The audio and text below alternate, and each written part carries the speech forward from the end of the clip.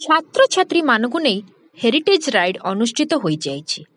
ନୀଳାଦ୍ରି ବେଳାଭୂମିରୁ ଗଙ୍ଗାଧର ନୋଡାଲ ବିଦ୍ୟାପୀଠର ପ୍ରାୟ ବତିଶ ଜଣ ଛାତ୍ରଛାତ୍ରୀ ନୀଳାଦ୍ରି ବେଳାଭୂମିରୁ ବାହାରି ପୌର ସଂସ୍ଥା କାର୍ଯ୍ୟାଳୟ ଯାଇଥିଲେ।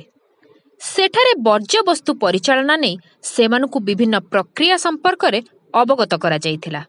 ଫିଡ୍‌ବ୍ୟାକ୍ ଫାଉଣ୍ଡେସନର ଶ୍ରୀ ଜ୍ୟୋତିପ୍ରକାଶ ପିଲାମାନଙ୍କ ସହ ହେରିଟେଜ୍ ରାଇଡ୍ ସମ୍ପର୍କରେ ଆଲୋଚନା କରିଥିଲେ। ଏହାପରେ ସେମାନେ ସହରର ଐତିହ୍ୟପୂର୍ଣ୍ଣ ସମ୍ପନ୍ନ ସିଦ୍ଧିବକୁଳ ମଠ, ଜିଆର ସ୍ୱାମୀ ମଠ, ଗଙ୍ଗାମାତା ମଠ, ରାଧାକାନ୍ତ ମଠ, ଶ୍ୱେତଗଙ୍ଗା ପୁଷ୍କରିଣୀ ଆଦି ବୁଲି ଖୁସି ବ୍ୟକ୍ତ କରିଥିଲେ। ଗବେଷକ ଡକ୍ଟର ସୁରେନ୍ଦ୍ର ମିଶ୍ର ବିଭିନ୍ନ ମଠର ଉତ୍ପତ୍ତି ଓ ମହାତ୍ମ୍ୟ ବିଷୟରେ ଆଲୋକପାତ କରିଥିଲେ।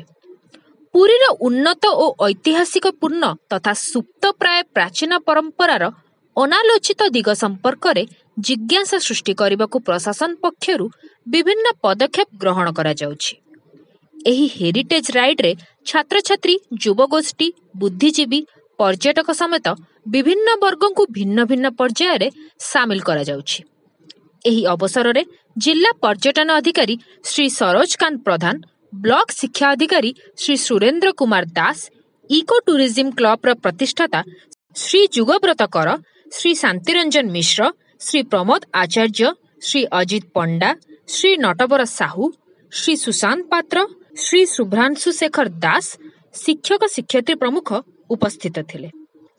ପୁରୀରୁ ସୁଶାନ୍ତ ପାଢ଼ୀଙ୍କ ରିପୋର୍ଟ, ଓଡ଼ିଶା ଟ୍ରାଇଏନ୍